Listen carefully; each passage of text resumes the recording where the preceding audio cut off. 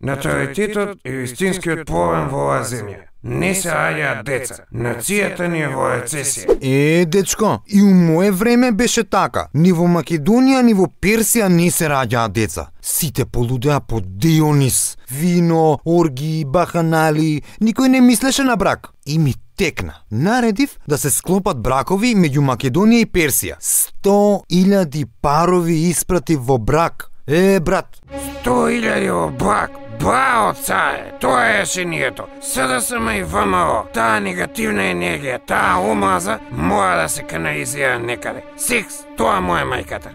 Маркетинг служба, скупи рекламче за бракови меѓу ВМРО-овци и СДСМ-овци. Има да ги раштрафиме сите кревети во држава. Ау, како ќе се раздандаме од сексање. Леле, леле, што стенкање, драпање и онадалје ќе падне. Е, тоа е реформа, царе. Па малку меѓу себе доста само народот.